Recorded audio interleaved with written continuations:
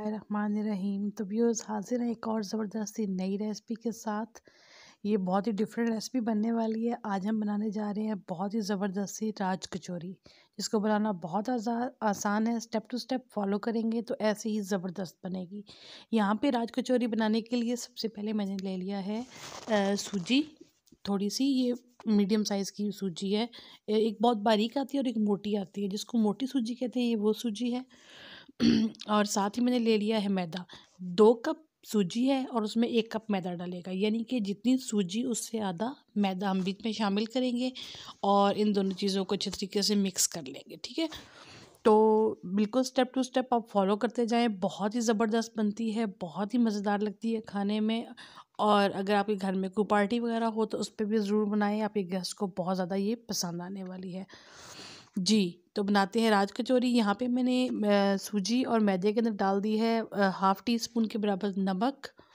और अब इसको हमने गूंदने का प्रोसेस करना है। इसको गूंदने का, इसके अंदर कुछ भी हमने शामिल नहीं किया। कोई सोडा नहीं, कोई बेकिंग पाउडर नहीं यीस्ट नहीं, कोई चीज़ शामिल नहीं की। सिंपल मैदा, सूजी और थोड़ा सा नमक। अब इसको हमने कर लिया स्पेचुला की मदद से हल्का सा मिक्स और फिर इसको गूंदने का प्रोसेस है। हाथ की मदद से हम इसको गूंदेंगे। लेकिन आपने याद रखना है, इसको गूंदने के लिए आपने बहुत तेज़ गर्म पानी, जिसे कहते हैं बॉयल वाटर एक कप हम बॉयल वाटर लेंगे वक्फे वक्फे से इसको ऐड करते जाएँगे।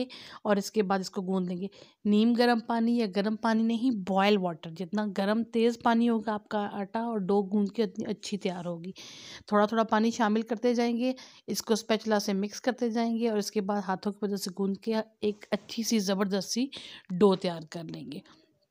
बहुत ही यम्मी बनता है, बहुत ही टेस्टी बनता है।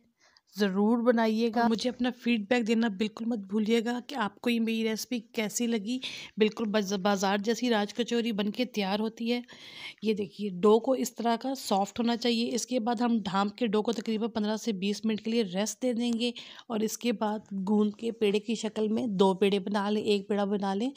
उसके बाद पेड़े को अच्छी तरीके से बेल के एक बड़े साइज़ का कटर मेरे पास ये एक ढक्कन पड़ा हुआ था बॉक्स का, जिसकी वजह से मैं इसकी कटिंग कर रही हूँ। और कोई कटर, कोई ढक्कन जो आपके पास मौजूद हो जितना गोलगप्पे का साइज़ होता है, उससे तकरीबन ये डबल साइज़ का होता है। तो उसमें आप काटेंगे कटिंग करके ऐसे अपने पीस निकाल लेंगे और फिर इनकी फ्राइंग का प्रोसेस स्टार्ट हो जाएगा। फ्राई करने की भी थोड़ी सी टेक्निक है। आपने एक तो ऑयल को बहुत तेज़ गर्म करना है और उसके अंदर इसको शामिल करने के बाद इस किस्म की किसी छन्नी या स्टेनर को आप रखेंगे जिससे हल्का हल्का इसको प्रेस करेंगे और ये बिल्कुल बहुत जल्दी से फूल जाएगी। तो बस ये छोटी सी एक टेक्निक है, अगर आप इसको फॉलो करेंगे तो ये बहुत अच्छे से फूल के तैयार होगी। इसमें कोई ख़ास, कोई स्पेशल इंग्रेडिएंट डालने की ज़रूरत नहीं है, जिसकी वजह से ये फूलेगी। तो बस इस तरह से हम जितनी बनाना चाहते हैं, उतनी राज कचौरियाँ बना के फ्राई कर लेंगे। मैंने यहाँ पे तीन से चार इस डो की मदद से तैयार की थी। और बस अब सिंपल आगे फिलिंग का प्रोसेस आ गया है। जी, यहाँ पे मैंने ले लिया आलू। और चने बॉईल करके इसमें थोड़ा सा मैंने सब्ज़ धनिया शामिल किया थोड़ा सा चाट मसाला। अब इस राज कचौरी की फिलिंग करने का प्रोसेस है। फिलिंग आप कम ज़्यादा जैसे चाहें वो कर सकते हैं। यहाँ पे मैंने आलू और चने की तैयार की हुई चाट को इसके अंदर शामिल कर दिया है। इसके बाद वैसे आप चाहें तो ऑप्शनल होता है, आप चाहें तो टमाटोज़ भी इसके अंदर ऐड कर सकते हैं। मैं टमाटर नहीं डाल रही मुझे ख़ुद भी नहीं पसंद और मेरे बच्चों को भी नहीं पसंद। इसके अलावा अब मैं इसके अनियंस डालने जा रही हूँ, जिनको मैंने छोटा छोटा सा चॉप करके रख लिया है। एक चाट की भी तरह हम इसको ले सकते हैं, गोलगप्पे की तरह भी ले सकते हैं, लेकिन इसका बेसिक नाम राज कचौरी ही होता है और ये खाने में बहुत ज़बरदस्त लगती है। अच्छा जी तो इन तमाम चीज़ों को हमने इकट्ठा कर लिया है। अब हम इसके अंदर डालने जा रहे हैं अपने प्याज, प्या, अपनी मर्ज़ी के मुताबिक जैसे आपको चीज़ पसंद हो, उतनी क्वांटिटी आप शामिल कर सकते हैं, ठीक है? और प्याज डालेंगे, इसी तरह हमने यहाँ पे सेव आपको नज़र आ रही होगी, बारीक सेव का इस्तेमाल करेंगे, ग्रीन चिलीज़ काट के रखी हैं, वो डालेंगे, अनार के दाने, अनार के दाने इसके साथ बहुत ही ज़बरदस्त टेस्ट देते हैं और इसको बिल्कुल भी आप स्किप मत कीजिएगा, क्योंकि इसके बगैर तो राज कचोरी का तैयार होना बिल्कुल ही नामुमकिन सी बात है। अच्छा जी, यहाँ पे गोलगप्पे और राज कचौरी या इस तरह की चीज़ों के साथ जो इमली की चटनी ज़बरदस्ती तैयार होती है, इसकी भी रेसिपी मैं इंशाल्लाह आपको बहुत जल्द दूँगी। ये आप इसके अंदर शामिल करेंगे, मैं बना के इस, मैंने पहले से बना के रखी हुई थी। ये बहुत ही कुछ थोड़ा सा हल्का सा मीठा टच देती है और ज़्यादा ये थोड़ी तीखी होती है, जो इस तरह की चीज़ों के साथ बहुत ज़बरदस्त टेस्ट देती है।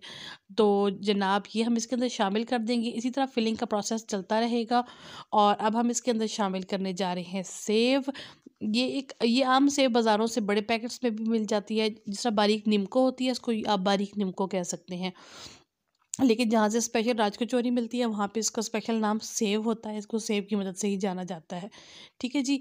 तो अब हम इसके अंदर शामिल कर रहे हैं अपनी सेव और ऊपर से हम डाल रहे हैं अनार के दाने और इसके बाद इसी तरह हम इसको दोबारा से प्रोसेस को दोहरा लेंगे। अपनी फिलिंग दोबारा डालेंगे, अपनी इमली की चटनी दोबारा डालेंगे और अपना एंड पे दही डालेंगे। और दही जो है वो बिल्कुल प्लेन दही है।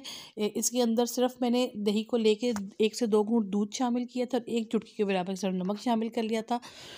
और इसको अच्छे तरीके से बीट कर लिया था ताकि दूध शामिल करने से ये होता है ना कि अगर आपका दही थोड़ा खट्टा हो ना तो उसकी खटास ख़त्म हो जाती है। अक्सर होता है ना दही खट्टा खट्टा होता है।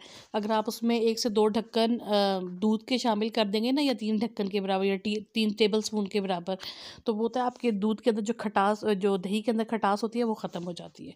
ठीक हो गया जी अब हम इसमें दही डाल रहे हैं। जितनी ज़्यादा और जितनी अच्छी फीलिंग आप इसके अंदर डालेंगे उतनी ही ज़बरदस्त आपकी राज कचौरी बन के तैयार हो जाएगी। ये है जी हमारी आज की रेसिपी उम्मीद करती हूँ आपको पसंद आई होगी। ज़रूर ट्राई कीजिएगा और मुझे अपना फीडबैक देना बिल्कुल भी मत भूलिएगा कि आपको मेरी आज की रेसिपी कैसी लगी। इसी तरह की ज़बरदस्ती नई रेसिपी के साथ दोबारा हाजिर होंगे। इन दुआओं में याद रखें, मेरे चैनल को सब्सक्राइब करना और वीडियो को लाइक और शेयर करना बिल्कुल भी मत भूलिएगा। अल्लाह हाफिज़, अपना ख्याल रखें।